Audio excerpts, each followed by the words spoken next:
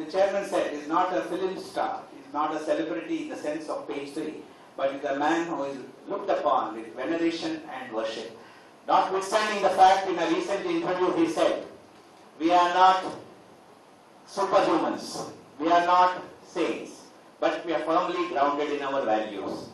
And that is what we try to impart to students that when we talk of maximization of profit, and particularly after the Harshad Mehta scam 1991, the first thing I do, I teach finance and accounting. I say maximize profits, yes, but maximization of post-tax legitimate profits or post-tax legitimate cash flows. Don't go for short-term gains. Look at medium, long-term gains. Look at the means and the ends. Don't try to say the end matters, the means don't. We are trying to inculcate these values into these young boys and girls who are here, and I've been trying to do that wherever I have taught.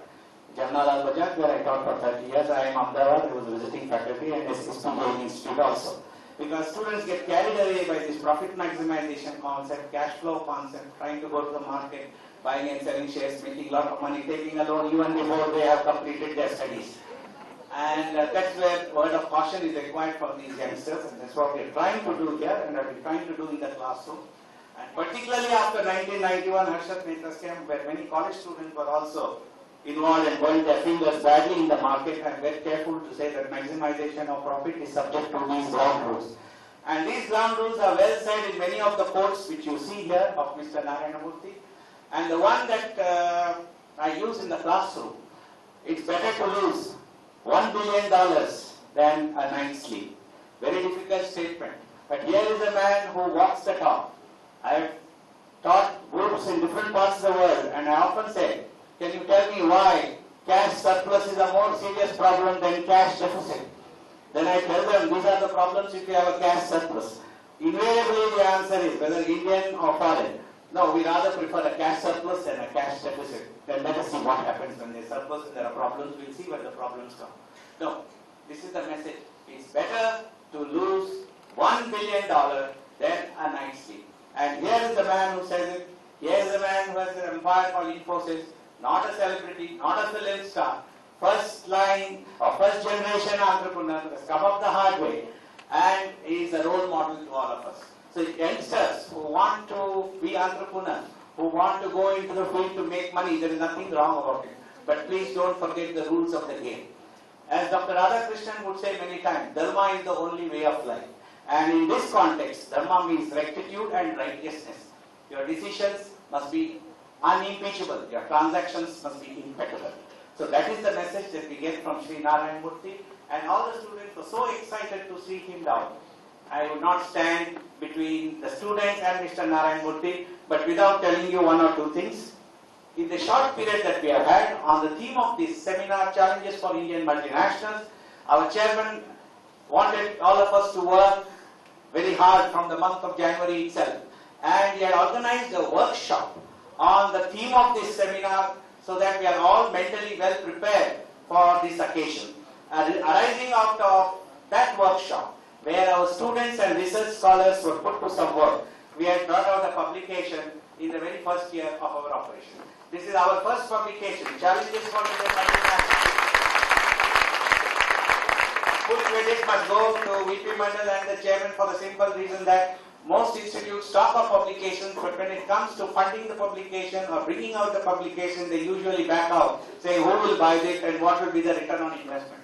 He has not asked me any such question, and therefore, once more, please give him a very big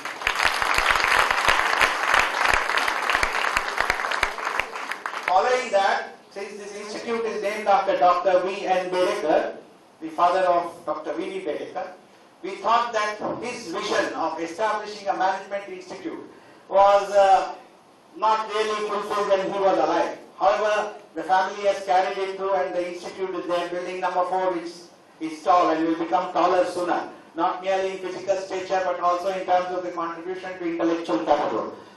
Arising out of the uh, situation that we were in, when Dr. V. N. Bedekar's vision was realized, but after his death, we thought of bringing out a publication in honor of Dr. V. N. Bedekar, which is known as the Dr. V. N. Bedekar Research Volume, which will be released at the kind hands of Sri N. R. Narayanamurthy today. The Bedekar Research Volume, which is still unpacked, It is the outcome of the efforts that the entire team, the knowledge management team, led by me, Mr. Rajgopal Iyer of our IT section, Mr. Sandeep Bowser, the librarian, Mr. Deepak Gokhale from the office, and Ms. Ajita Athare looking after the archives and my secretarial work, have put in a lot of effort day and night to bring out this wonderful volume which you will see in a few minutes from now. Please give them a very big hand. This volume is a collection of thoughts from people who are working here and what they think of the building now and what they thought of Dr. V. N. Bedekar. It also includes articles from my research scholars, from my PhD students who have passed out, from my PhD students who are still working with me, and from the PhD students who are about to register. It includes the network of visiting faculty and it also includes the network of full-time faculty. All of them have contributed their might to this and I must, last but not the least, thank Mr. Vilas for the wonderful work that he has done. When you see the work, you will see it for yourself now very soon. So please give Mr. Vilas a special big. This is what I wanted to say and since I am also very eager to listen to Mr. Narayan Murthy, I will see what is the next item that I have on the agenda before I forget it. This much from my side. I can go on giving lectures on all his speeches which he has given and all the Infosys annual reports that I have read for my classroom. But I normally carry the Infosys annual report instead of textbooks. It's almost like a PhD thesis every year. I would now request Professor V.S. Bhakre, the one and only one who managed to bring Mr. Narayan Murthy here. Please give Mr. Bhakre.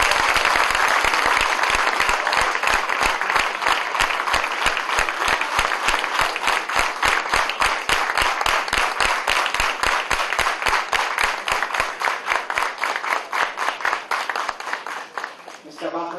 They more for you than for me. and I will also join them. Uh, we are not introducing Mr. Narayan Murthy, he needs no introduction. But Mr. Bhakre would like to say a few words and he has timed it according to, and you know he is very strict about time, so hand over to Professor Bhakre. Thank you. Uh, I think uh, it is on the dance. It's my privilege and honor. Although, thanks to Dr. Guru Prasad Murthy, because uh, 90% of it is covered, so there is nothing more I have to say. So I can stick to the timings of two and a half minutes or two minutes, which Dr. Bedekar has insisted on that. I will say that he is a mentor of Generation X and then the mentor of Infosys. Sir, you have made us proud of being an Indian. And he is the one with a $250 investment. Today, it has gone more than $2 billion. And that all this is through the innovation. Just yesterday, there is an article, sir, on that, the future about innovation. And one thing, how did this company become so rich is, he knew if one wants to become rich, make others rich. Today, thousands of millionaires have there because of associating with Infosys, either internally or externally. A NASSCOM past president, director of DBS Bank, Singapore, IT advisor to many Asian countries, and put India on the global map. Just one I would like to say, which has not been said, is the 300 United States American graduates are coming to Mysore for a training and this is the one, what more you want, say that put India on the global map. We used to think that training is to be done abroad, not in India. Today American graduates are coming to Mysore for training. That's what more you need. And this is a, could we think of a better personality than Mr. Of challenges to Indian multinationals? And first visit to Thane, I will take another 30 seconds more, sir passion and commitment for the generation X has made you to come, not for our institute, not for Dr. Prasad Murthy, not for me. It is the one next generation, you have a future, and that made him to come down here.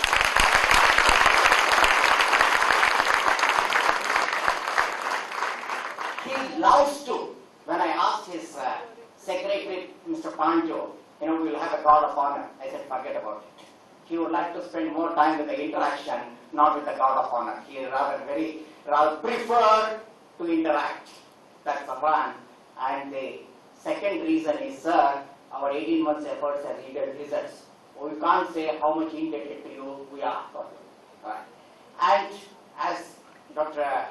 Guru Prasad Murthy has said, you know, even at the age of 80, people want to become chief ministers now.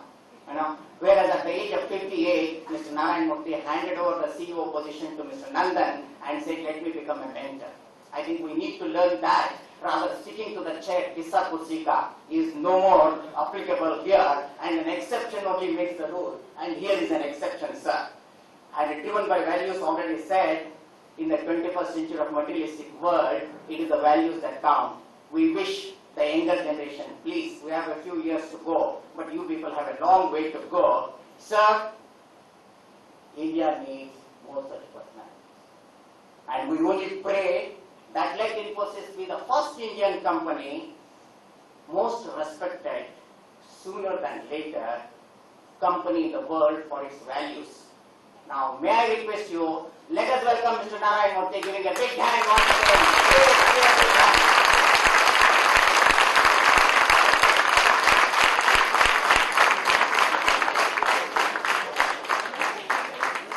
Uh, May I request uh, Prakash to hand over the bouquet to Mr. Narayan Murthy, please?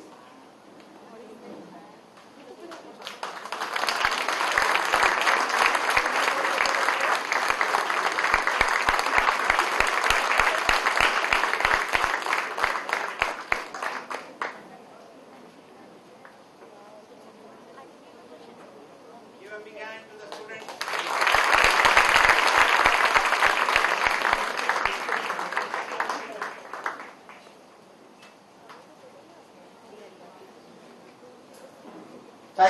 Bakri. And thank you, the students. 10.45 is the scheduled time. We have a few more minutes for his keynote address. Just five minutes, I will take a maximum. Mr. Narayan Murthy, sir, out of our gratitude, token of respect, love and affection, we would like to present a very small memento to you.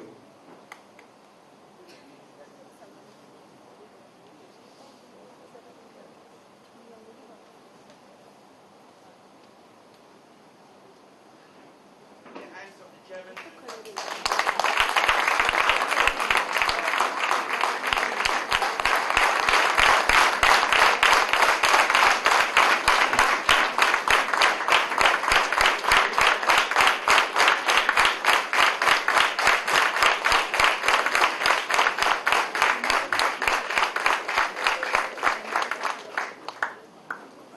The last item on the agenda before we invite Sri N.R. Nayan Murthy is the release of the V.N.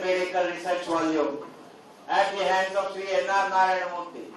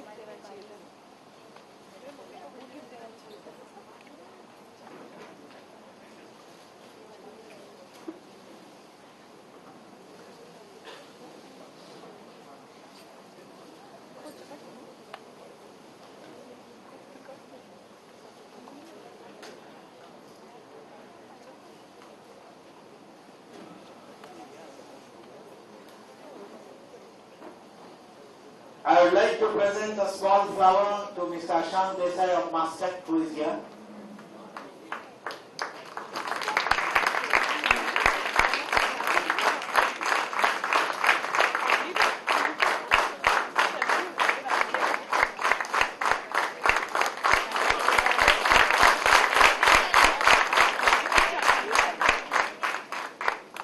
So our time management has been perfect.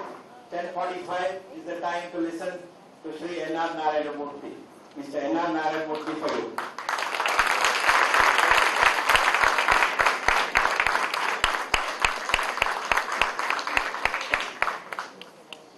Dr. Bedekar, Dr. Murthy, Dr. Karandikar, Professor Bakre,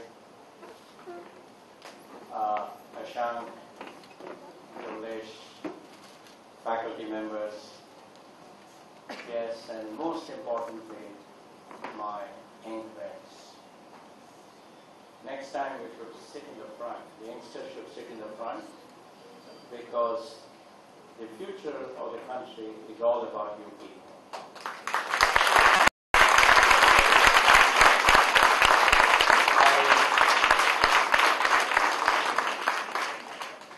This program was fixed in conjunction with another important uh, function I was supposed to address. But that function got cancelled for some reason. But I told my secretary that I want to go and meet the youngsters, interact with them. So I came last night and I'm going back immediately after this lecture because I find interacting with youngsters very, very important. There are three things that we in India can be proud of. They are our democracy. It's a very fledgling democracy. It doesn't work well. Yet it is a democracy.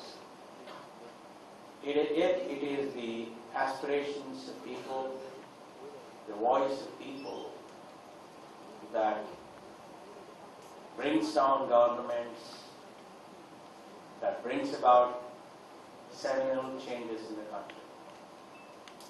The second is our secularism. In, even though there have been minor infractions, I must say that India is one of the rare countries that have stuck to secularism. And this is extremely important because if this country has to succeed, if this country has to become important in the global environment, people of all religions, people of all castes have to work together in harmony. And third, most important of the three, is our youth.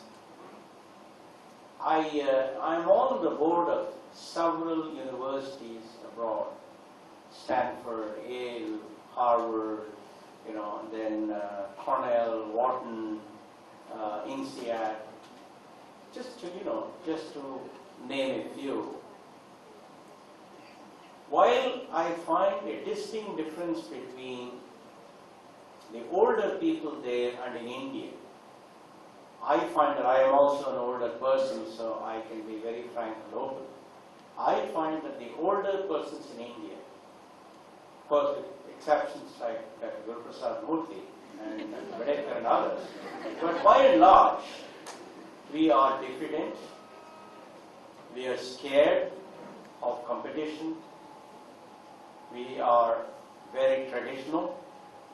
But on the other hand, when I compare the youth of India with the youth outside, whether it's at Stanford or whether it's Cornell or wherever it is, frankly, I do not see any difference. So, if there is future for India, it is only because our youths were create it. Is only because of their enthusiasm, their energy, their enthusiasm. So I never ever lose an opportunity to interact with our youngsters. The, the fact that the youth who create the future, the youth that stands for values was very clearly demonstrated in the last week or so. When those of us, the elder ones, were equivocal, were dilly-dallying, were not certain, were scared of expressing our views on a very important issue. The youngsters all over the country have stood up for what they believe is right. So I think this is a great example of what the youth can do. Now, the topic that has been chosen today is challenges for Indian multinationals. India has been growing at 6% plus in the last 15 years since the economic reforms undertaken by Dr. Manmohan Singh when he was finance minister. This year, they have grown by 8 plus percentage. The exports are about 75 to 80 billion dollars. That has been growing at 20 percent. The imports are somewhere around 100 plus billion dollars, which is very positive because it means that we are actually investing in building up our infrastructure so that we can achieve even greater growth. 78% of the GDP has been contributed by the private sector, which again is a very, very important data point because at the end of the day, I believe it's the private sector that will take this country forward. And of course, the stock market index has reached an all-time high. Of course, now it's slightly lower, but that's understandable. It's still at a very impressive 11,000. Plus, there are 100 Indian companies with market capitalization exceeding a billion dollars, which again is a very clear indication of the fact that our economy is growing, our companies have more and more of a global mindset, and they want to bring in innovation so that their companies become more and more valuable. We have at the same time worked to produce a $200 PC, which is approximately about 10,000 rupees, and a lakh, a car which costs 1 lakh rupees, which Ratan, Ratan Tata is trying to produce, and that's approximately about $2,500. What that means is we have, we are learning the art of producing quality products at affordable prices. This is extremely important if you want to succeed in the global marketplace. And the challenge there is how do you make sure that you produce world-class quality products on time, within budgeted costs at affordable prices. I think that is the challenge that all of us have if we want to succeed. On the, on the sector, on the, on the, on the, on the economic uh, da- uh, data, I would say that we have today somewhere around 100 million telephone lines, you know, as against something like uh, 10 million or so about 15, 20 years ago. And that's, you know, this growth has primarily, come in the last five years. However, we are still 1% of the global trade. In fact, less than 1%. Our exports are only a small amount of $80 per person, as against China's $800. China, each person in China today exports $800, whereas we export only $80. Our exports form just about 11% of our GDP. On the other hand, if you look at countries like China, Brazil, Mexico, etc., they are somewhere around 30%. Now, why are exports important? The reason is very simple. If you solve, the, if you want to solve the problem of poverty, you have to create jobs.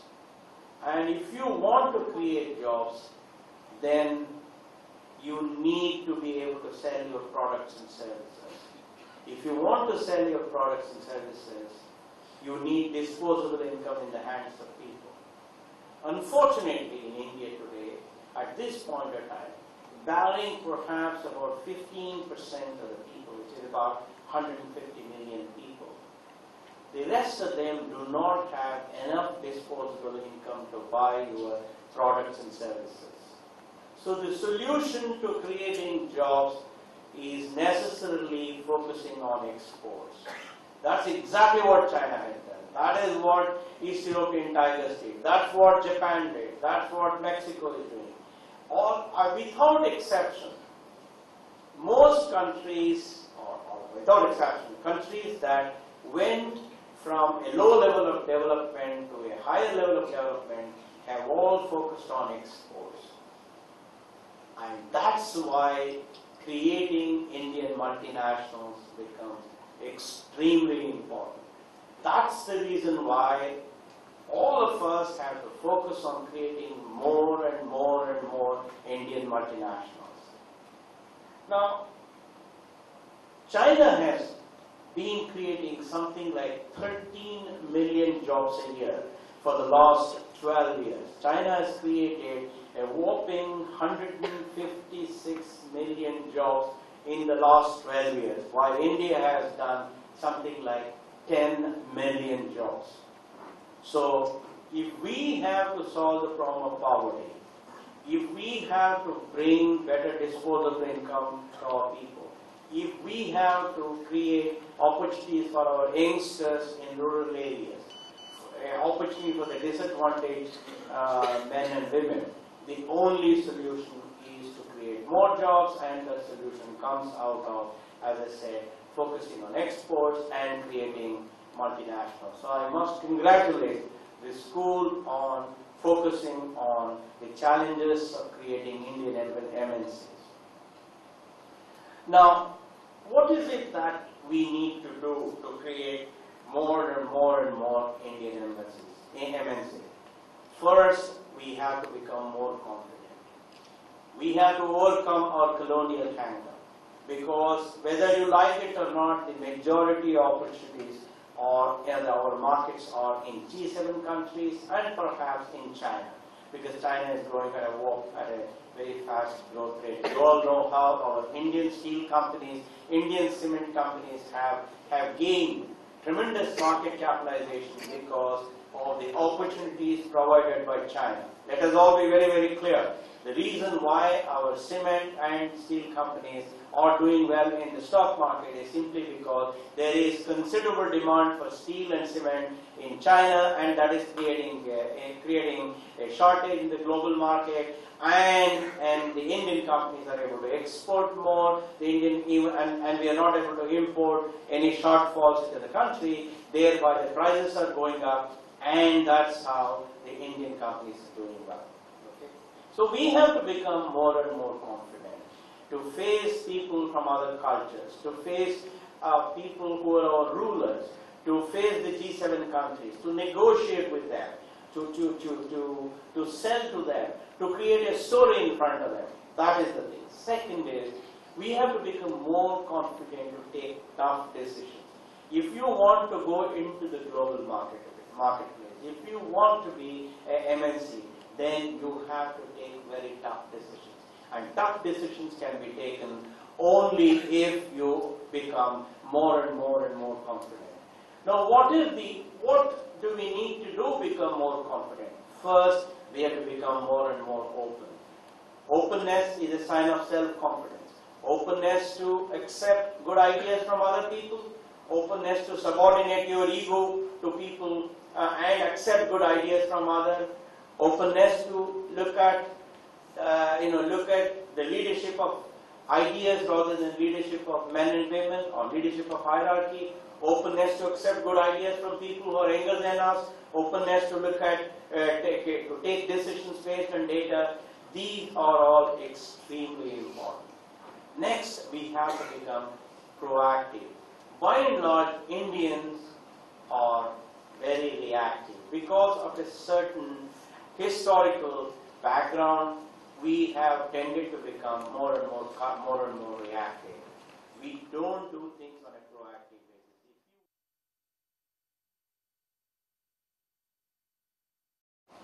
Let us be very, very clear. If you want to be, compete in the global marketplace, if you want to be a MNC, if you want to succeed in exporting more and more, if you want to compete with the best in G7 countries, you have to accept meritocracy. There is no shortcut to that. We also have to become a learning organization, which means we have to keep our eyes and ears open. We have to get the best ideas from anywhere in the world in each of the dimensions of our operations. Use those ideas, perhaps adapt them, improve upon them. Because unless you are a learning organization, you will not be able to succeed. You have to embrace speed. Because at the end of the day, the one of the most distinctive advantages of a successful corporation is speed. You must ask the question, are we doing things faster today compared to yesterday, last month, last quarter, last year, etc. Very, very important. Next, innovation or imagination. You must ask the question, are we bringing better ideas to the marketplace today compared to yesterday, last month, last quarter? Once you start asking, once you start giving opportunity to youngsters to come out with better ideas, then that corporation will succeed very well. For example, we conduct several times a year an exercise called ideation exercise. There, the rule of the game that day is anybody above 30 is not allowed to speak. He or she can write down ideas, you know, they can, they can, they can then implement them, they can, of course, later on they can question all of that. But that day belongs to people below 30. And that's the day when people come and say, this is something I don't like in the organization, this is the way we can improve. It's all constructive, it's not, it, it- it's not about finding, uh, uh, finding faults in the organization, it's all about bringing out better and better ideas.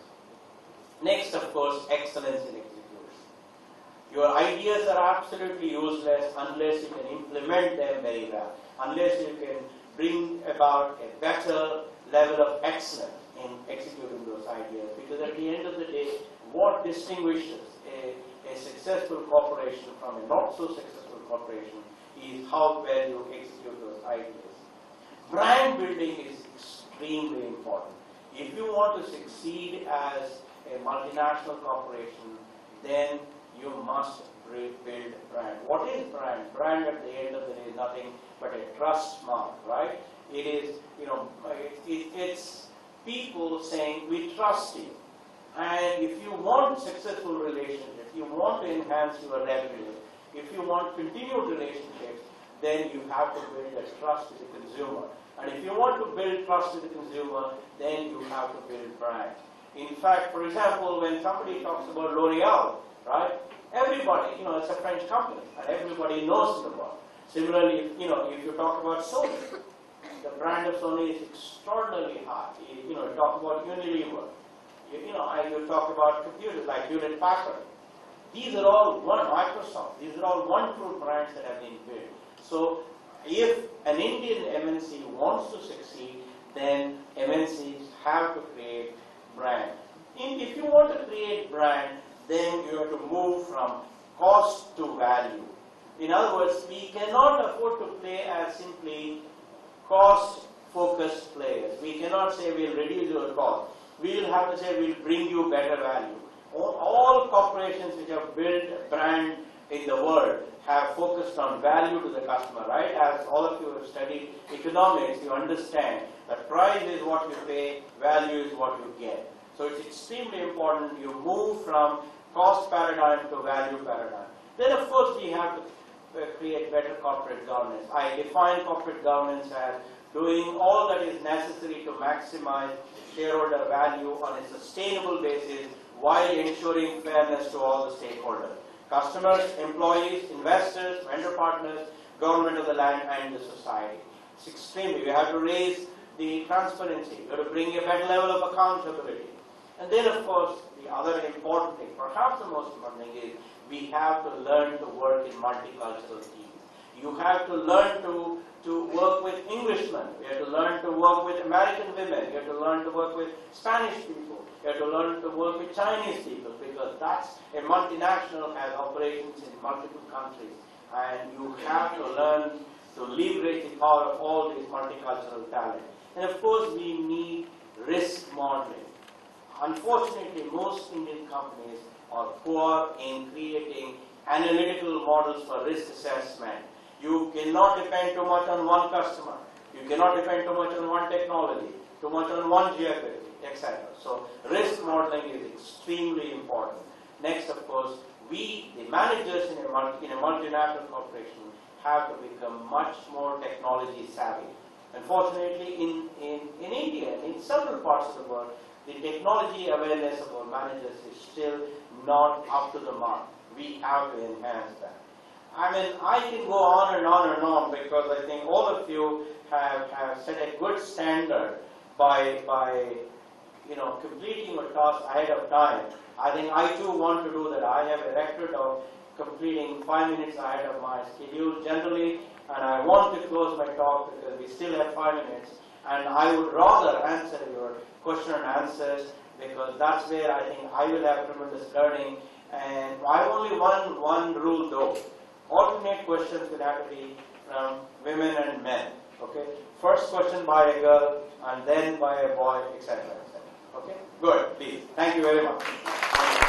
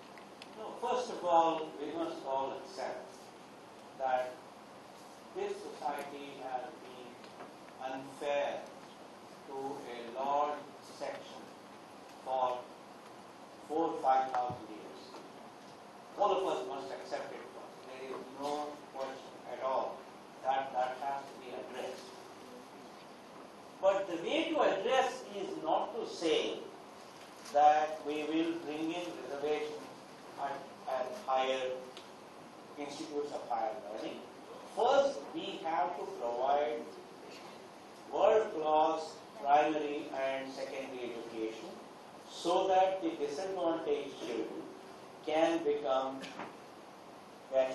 They can become competition worthy. In fact, my suggestion is this, that we have to provide breakfast, lunch and dinner for all these children so that they have good nutrition. Of course, there should be no corruption. People should not eat money in this. And you know, that has been the, unfortunately the experience in India. Once you give good nutrition to these children, once you put good teachers in our primary and secondary uh, schools, once you focus on these children a little bit more, have extra classes if necessary, make sure that their textbooks are all given free, make sure that clothes are given free. Do that, then you will make them as good as anybody else. Unfortunately, we have failed in doing this. Let us remember, that India is still at 65% literacy, number one. Number two, 50% of the schools in, in, in rural India have one teacher for every two classes, every two sections, which means that we have not been able to address the basic issue of primary and secondary.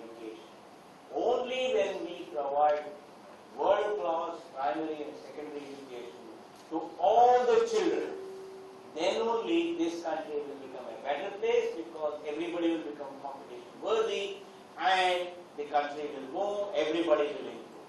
So instead of solving that, which is a very, very difficult problem, you can go and say, okay, tomorrow I will have this much of reservation. But that's taking, that's a cop-out strategy. That is not the, that's not a difficult thing to do. You can pass anything you want in the parliament. But the difficult thing is to ensure that every village, there are something like what, 650,000 villages or so in this country, right? In every village, you provide the best possible education. I would fully support it.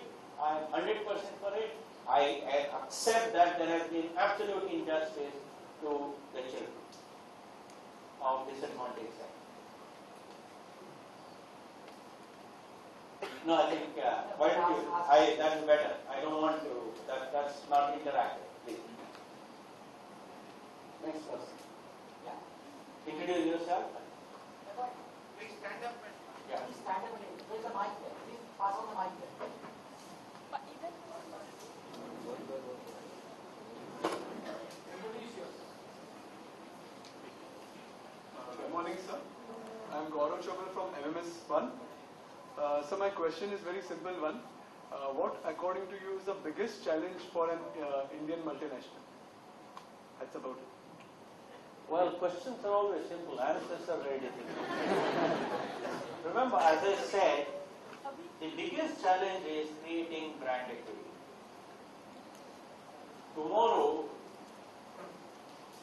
if you can create a product which, when used by people all over the world, they say it is from this company in India. I think that is the biggest challenge. If you can create brand equity, then you, you get sustained revenue, you get good profits, you attract the best quality customers, you attract the best quality employees from all over the world, you attract the best quality investors from all over the world. So the biggest challenge is creating brand. That's the biggest challenge. Yes, I'm, I'm girl there was Please, please. Go ahead.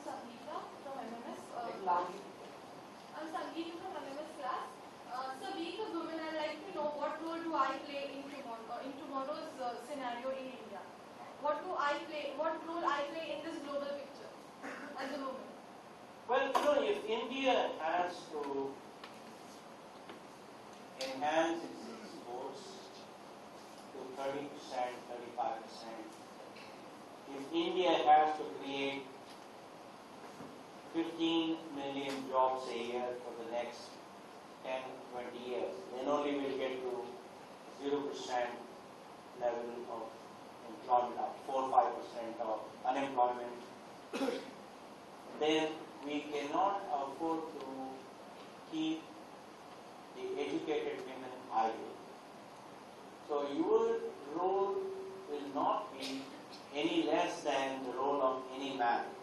In fact, your role would be much more critical, much more important than that of any man, simply because you have additional responsibility, which is first giving birth to wonderful children. Number two, looking after them in the initial year or two. Number three, more importantly, I firmly believe it's the mother that gives, gives value to children more than the father. So, I do think that your challenge is much, much more important than the challenge of any of your male colleagues because you have to succeed in the office, you have to succeed at home. That's what I would.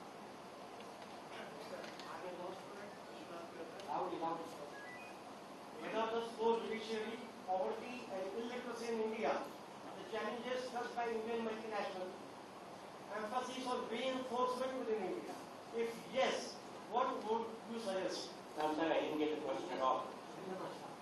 Whether the slow judiciary, poverty and illiteracy in India are the challenges faced by Indian multinationals, emphasis on reinforcement within India.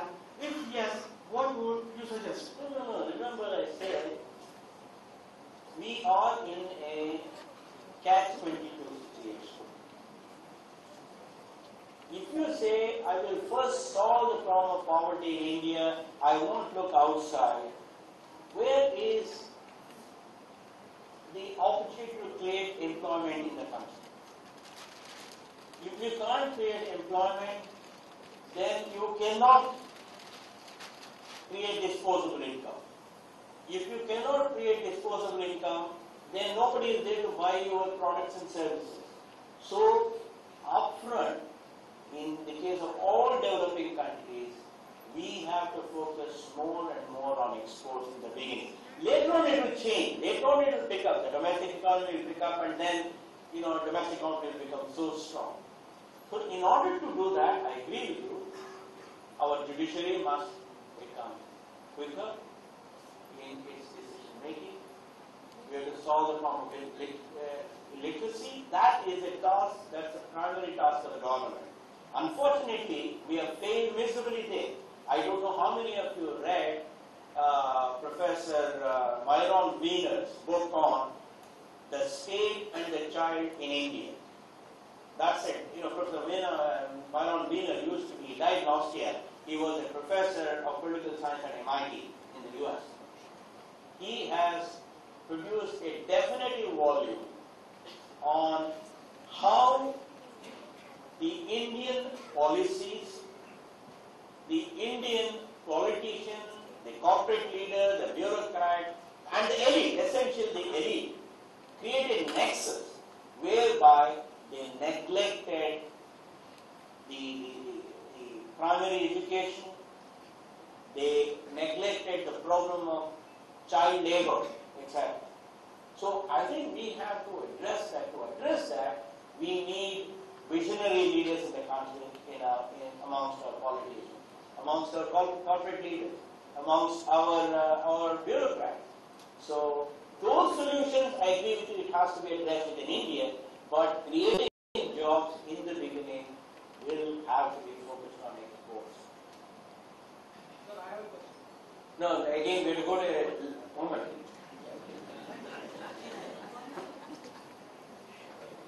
Sir, myself Aarti Kapta. I believe in fifty percent reservation in questions for me.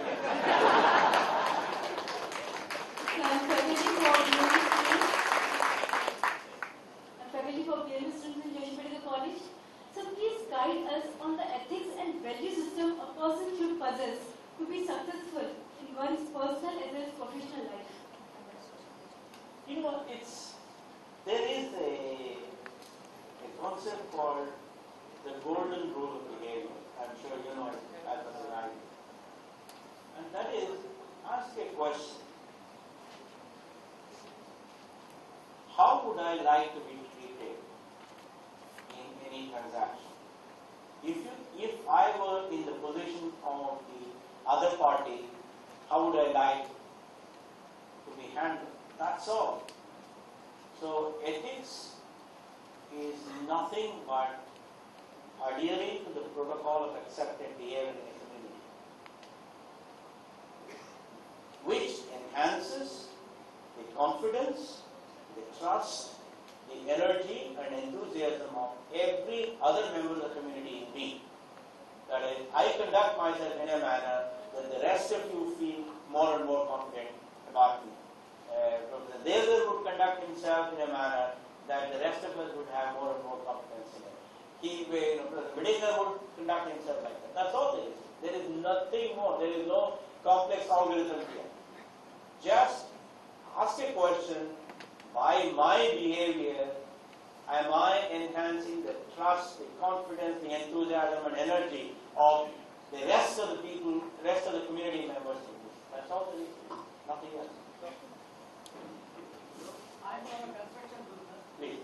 we are infrastructure development project, uh, airport. The whole judiciary process anti-political bill, calling some of our projects.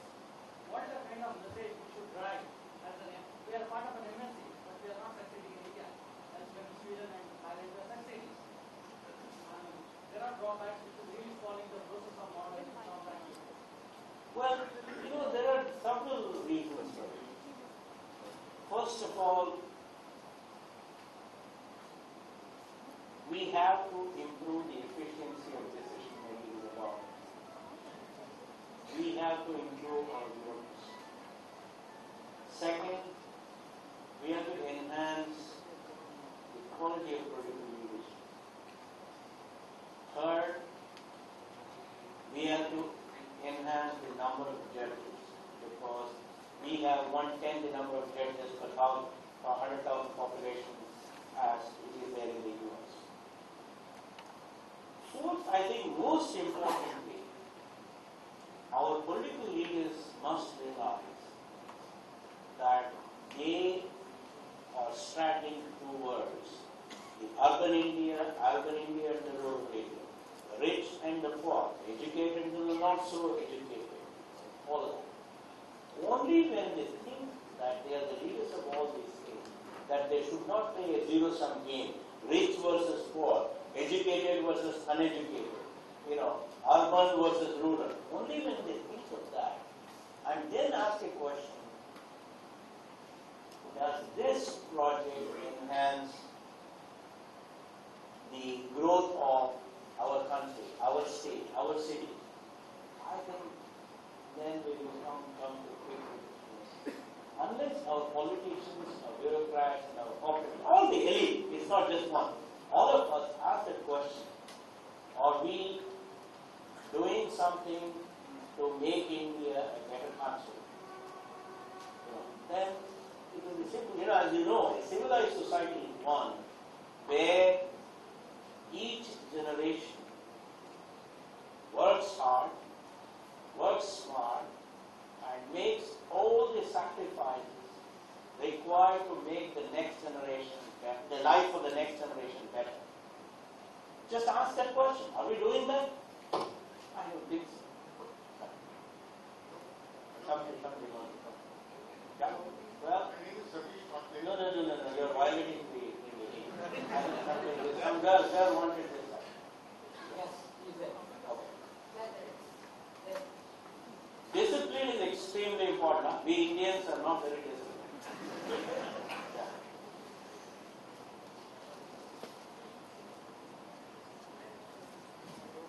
Hello, sir. I'm Shweta Naik from PGWM. Sir, I want to ask you some simple question. Sir, in this scenario, in this scenario, Some of us girls seem to think they ask only simple questions. sir, in this globalized scenario, uh, from past we are looking at in uh, IIT students as well as uh, more reputed uh, college students, they are just moving abroad. So, according to you, sir, what steps to be taken to stop them that they should implement their own innovative ideas to here in this India so that our India should be uh, much more competent from others. So, what according to you, No, no, the steps First of all, we should do nothing to stop anybody. That's not correct. Your challenge, and my challenge is, what is it that we need to do so that they are attracted to stay back in the country? Not stop. Stopping is very simple. Don't give them the passport. That's not going to help. So I would look at the problem as, how can I make this country attractive for those youngsters to stay back in? One. The second is, let's remember that we are a nation of a billion people. If a certain percentage of competent Indians were to go abroad, it is actually good for India. Because the brand equity of India, the respect for India has been built by these high-class professionals abroad. Because our engineers, our doctors, the Silicon Valley entrepreneurs of India, they all succeeded. Today, respect of India is a lot more than what our, our diplomats, our politicians, our corporate leaders, you know, our bureaucrats paid for the last 50 years. In the last 15 years, these people, people of Indian origin, who have worked hard, who have demonstrated they are good citizens to those societies, they have contributed tremendously to creating brand equity. So don't stop it. Work hard to make sure that this place is more attractive. Yeah, please. Please, go ahead. Uh, So why, why do you want to take the hard way? Introduce yourself. Amit Pal Singh, sir. My name is Amit Pal Singh. I've just completed my MMS. Why should we go the hard way? There's so much of easy money lying around. The countries at the top are as corrupt. But still, why do you want us to go with the hard way? I didn't understand the question. Why the hard way of life? It's all- you tell me? I mean, you, you ask us that, that we have to go for values, and on the other hand, we see that the country is all, all some corrupt people going up and going ahead at a faster pace. Then how do you, No, no, it is a stable society is one where a significant majority of the people follow rules of the game, follow values. Just imagine, for example, I don't know, have you driven outside India? I've been to Singapore? I've been to, uh, say, uh, UK or Germany? There, everybody is driving according to the rules of the game. The result is, you reach your destination faster, the journey is comfortable, all of that. See here on the road, everybody, nobody is following rules of the game. With the result what? There are delays for everybody. I feel sick. Traveling in these roads is a pain. Everybody is cursing everybody else. Everybody is unhappy. That's the reason why we should follow the rules of the game, we should follow the values. Let me assure you that India is one of the, you know, I mean, you know that the, the, corruption index has come out and India is one of the most corrupt countries. Other countries are not like India, please. Let us be very, very careful. So, in most developed countries, corruption is limited, much, much more limited than in India. In India, it has percolated down to the lowest level. In those countries, if it is there, it is at a very high level. It does not affect the common man. Whereas here, it has affected the common man. So, do you want the life of the common man to suffer? That's why you should not have, have value.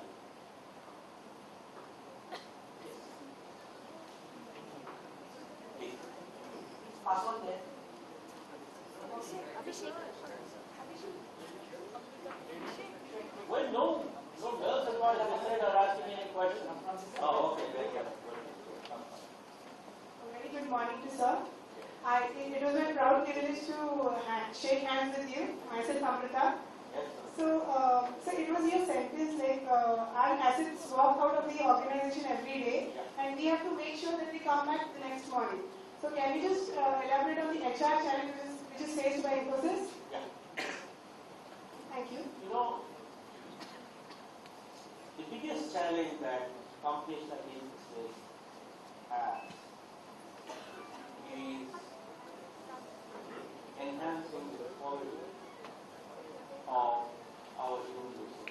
Because at the end of the day, the only instrument that we have to succeed in the marketplace is by bringing about change, by bringing about innovation.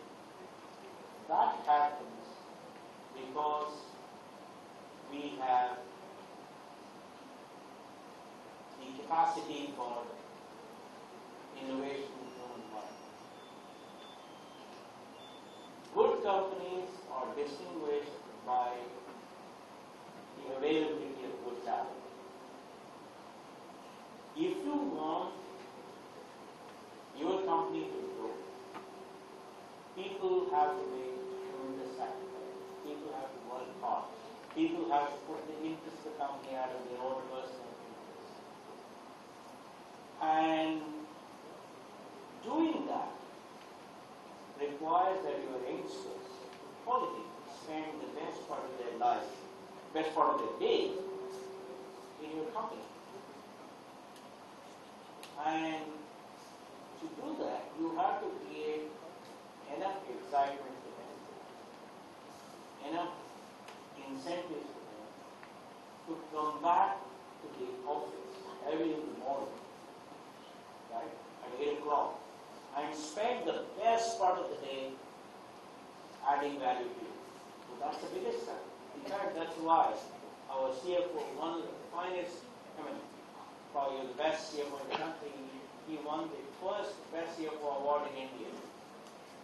He shifted human resources because it's extremely important. Yes, next. My name is Ravi Perfect. Uh, India has succeeded in IT industry. So, can this IT industry knowledge be help to the other, uh, can help other, uh, other industries like pharmaceutical industry or in automobile industry and in what way? I, I, I I think it is, what is it that the IT industry did? It did a few things. One, it said, we will focus on external market because there was hardly any marketing. The moment you say you focus on the global market, then you are automatically competing with the best global players. So global benchmarking was the first. It's global benchmarking in customer orientation, in employee orientation, in investor orientation, corporate governance practices, accountability, transparency, etc. etc. The second thing that we did was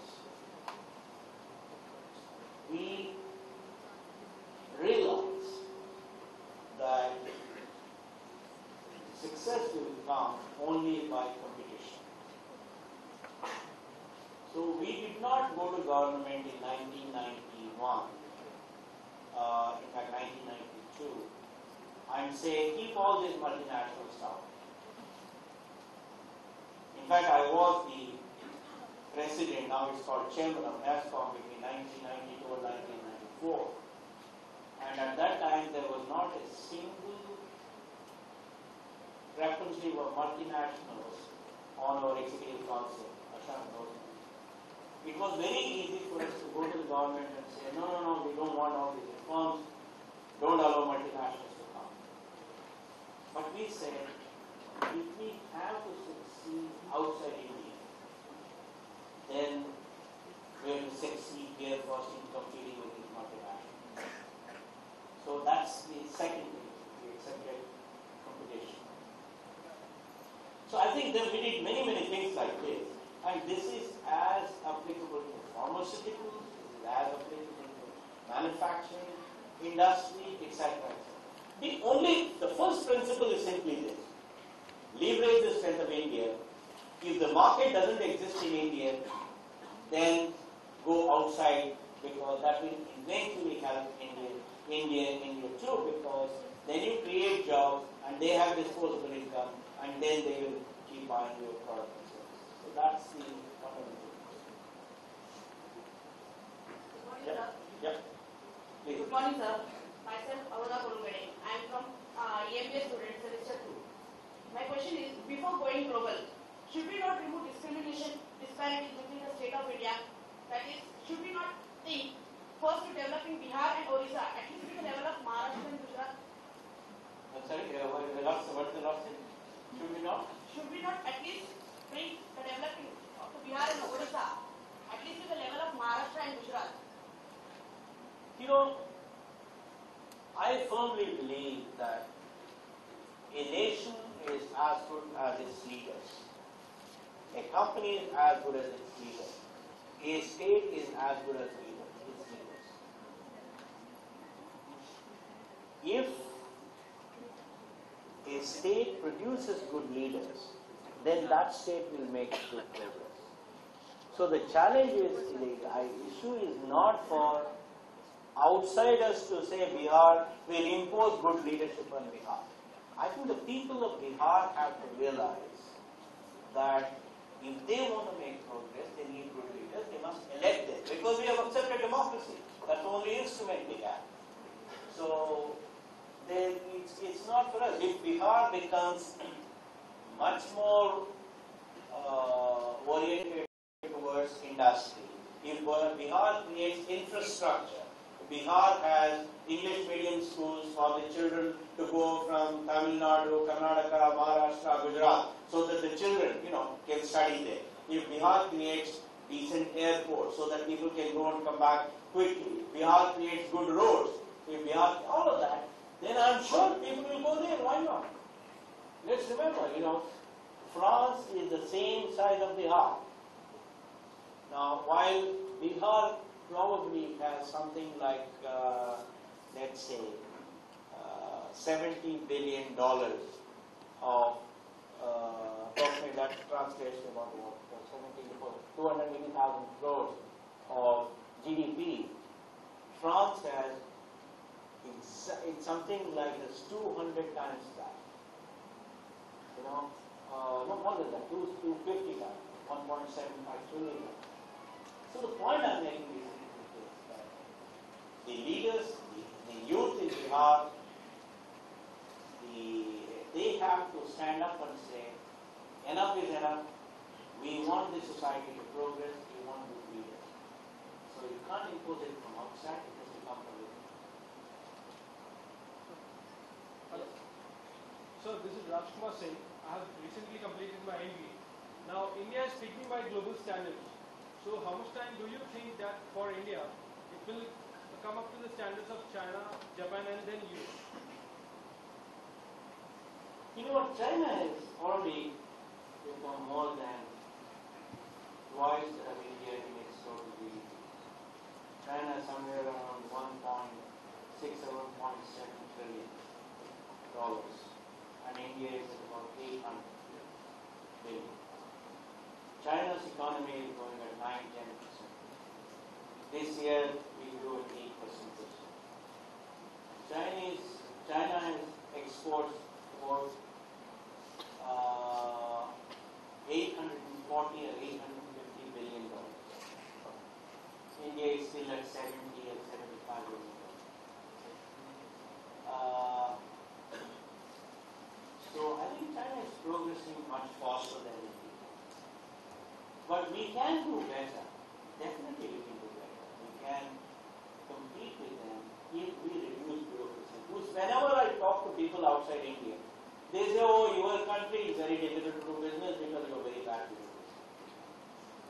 You know, I, mean, I think unless we reduce the bureaucracy, unless we take fast decisions, unless we improve the infrastructure, you know, while coming from Santa Cruz, one hour journey, both sides, whenever I looked, I looked dirt, I saw dirt, I saw very bad houses.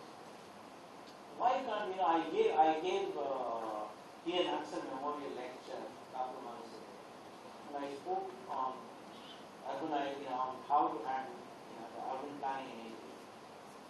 For example, if you take pragmatic, sensitive decisions on urban planning in Bombay, you can create wonderful living place for all the people who are living in slums. It's a pure economic decision making. Unfortunately, we, we don't we don't look at long-term interest. We do everything on a short-term basis. That's why this country's progress is, is slow. But if we can if we can think about changing that, I'm positive that we can we can move faster. But I don't know whether we catch the China or not. That's that's you know, we have to, to look at it very carefully. We have to look at data, to look at the issues, and then Well, friends, we have two more questions, then Tejal will have a few words and then we'll stop. absolutely. Uh, my name is Seema. So, uh, when we talk about multinational company, one thing that comes to our mind is long working hours. With this long working hours, how can we make justice to our personal life? Uh, in simple words, do we have a perfect balance between a professional life and personal life? Can we have a perfect balance between these two? You know, my view is every generation in India will have to work very hard, work smart, make a lot of sacrifices so that our children, grandchildren, great grandchildren can have a better quality of life. So we should not worry about our work-life balance. We should worry about how we can create a better India. And uh, you know, Germany, for example, after World War II, they made it mandatory for people to work something like 12 hour days. They all worked. So I don't think as a youngster you should worry about how hard you work. Uh, my friend, specifically the last question, the most important message he has given, we have to work hard, not that hardly we have to work. Amere, uh, practicing chartered accountant. I have a specific question for you. That, uh, we look forward to you, you- we look up to you as a mentor. All of India, even the younger generation, is looking at you. Uh, my question is, if uh, and what could be done to institutionalize this kind of entrepreneurship, drive and dynam- dynamism? Because Indian MNCs have come up. If you look at the MNCs which have come up, they have come up because of leadership, dynamism of few individuals. If you look at the rest of us, I mean, quite a few of us would rather do jobs than to become entrepreneurs. And business schools, like the one which we are standing here, where I teach also, are not able to transmit that dynamism into the students. I mean, students aspire to jobs rather than go into crucibles of innovation, as you rightly mentioned. So, how does that difference of the earlier generation get removed? And we have a number of leaders who will really pitchfork India into the next century. So, how could it be institutionalized? How, how could it be professionalized? Both of companies as well as in respect of the general public. No, I, I think first one is role models are very important. Because if you want to inspire youngsters, if you want to create enthusiasm in them, then you need role models. You have to provide greater visibility to those role models. Not so much in terms of the people in the Sensex, top 20 stocks of Sensex. No, that's not what I meant. What I meant was, you should role, you should showcase an entrepreneur in a village. You showcase a small entrepreneur in, in Thane. Because people have to realize that I don't have to be number three in the stock market to become a role model. They must be able to identify easily with those role models. Similarly, you have to showcase a wonderful role model in creating excellence institutions like this. You have to create role models in among people who have fought for some principles. You know that we have got Medha Patkar. Uh, people like that. I think by by making sure that films from them are are produced and then are shown to youngsters all over the country by creating interactions with, with role models for youngsters, by writing books about them, you know, I think that, that the second is leaders in every community, leaders in, in every organization, they have to walk the talk. Just as Mahatma Gandhi walked the talk, I would say he's probably the only Indian the only Indian who has walked the talk, right? And he brought so much of confidence to so many Indians. So I think all of us have to conduct ourselves in a manner that will raise the confidence of the youngsters. So I, I would say that visibility, showcasing, walking the good. Well, now let us listen to Professor Deodhar. He has, uh, is an extraordinary person. We have all uh, uh, looked to him. We learned so much from him. He has held very, very important positions, you know, and so I said this proposition. Thank you. First of all, I must admit that uh, we have a large number of billionaires in India. Number is growing. But out, out of all those billionaires, one who wears his billions the best is next to me.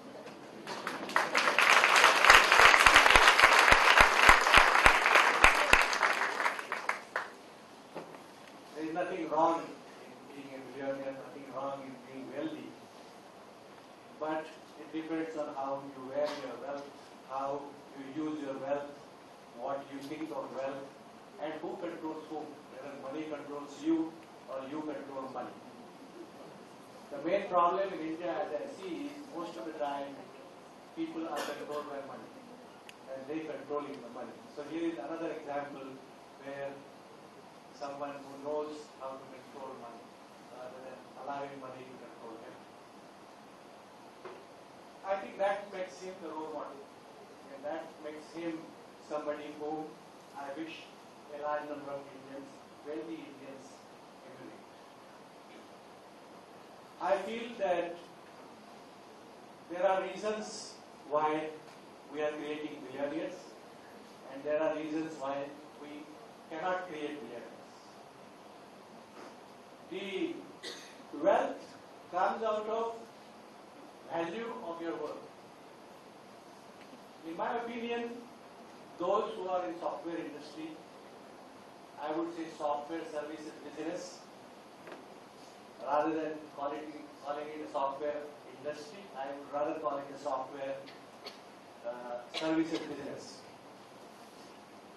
If value of your hour work done is valued by a customer at much higher level than what your local norms are, then obviously you make more money, you make more wealth. The reason why software industry in India is successful is because we are serving the rest of the world which value our hours work far differently than an average Indian employer will value. And therefore, software industry has succeeded. In case of hardware, exactly opposite exists. In case of hardware today, as you know, you do your MBBS graduation, you do your BE in mechanical engineering or you do your BE in civil engineering, and you end up with a job of maybe, if you are lucky, eight, nine thousand rupees. That's where you start. Whereas you join so-called IT enabled service, which is really a, a different kind of service. I don't know why it is clubbed IT. But if you look at call center, a good looking girl possibly will get 50,000 rupees and she starts working there. Because that is the kind of value the customer is willing to pay for a service. Now does it mean, therefore, I think we are getting, because of this situation, the whole country is getting bit skewed. And that's where the strength of software has really hurt our strengths in hardware. In hardware business, today, for engineering industry, it is difficult to find manpower. You look at almost every other professional area, you will find that it is difficult that the talents of the kind which are required to really build these companies strong are not existing. Now look at how government policies affect the whole exercise. It is extremely difficult as anybody who knows manufacturing hardware would know that running an industry in India is a nightmare primarily because of the government. Consequently, you see caracas of dead industries in this town, in every town, every part of India. So until unless this disparity is well understood, we are not going to solve the problem that we are facing today China has created more than 9 crore jobs, blue collar jobs. In this same period of last 14 years, India in real sense has declined our blue collar jobs. There is a decline in blue collar jobs. Another deficiency I want to point out, I mean, we talked, uh, I just finished a conference, India China Economic and Cultural Council conference, and there I pointed out that while we have 18 billion dollars of bilateral trade, and till last year India was exporting more to China than importing from China, and everybody was delighted. And then only we realized that what we were exporting was iron ore. 6.5 billion dollars worth of iron ore India exported to China. Had we converted that iron ore into steel and exported it to China, we would have added in this country's wealth another 15 to 20 billion dollars. Why we did not do it? Because of our industrial policies, because of our non-sensitivity of what our priorities are, and understanding the real significance of our success in software or any other area. We often talk of, we just asked, talked about a question about migration of Indians, and I think we are, I'm glad that so many Indians went abroad. Had they not gone there, we would not have today's software industry in this country. We would not have got software business in this country. They are the ones, they were the ambassadors of India to make India, to sell India properly. If India, is respected, if everybody in the world, and, and swings, opinions swing by uh, more of an imagination, and therefore everybody feels that every Indian is a great software man. You all I know that's not true. But still that reputation helps us in every respect. I remember long time ago when we were sitting with Rajiv Gandhi and uh, our uh, ambassador uh, US, and, uh, Abid Hussain, we talked about brain drain. That was the much discussed topic in the 90s, early 80s. Brain drain and how to stop IIT, all the graduates were going abroad. And uh, I said, no, we, let's not call it brain drain, let's call it brain trust. And uh, everybody was comfortable, but then Abid Hussain made a very interesting comment. He said, uh, Rajiv ji, brain drain is better than brain in drain.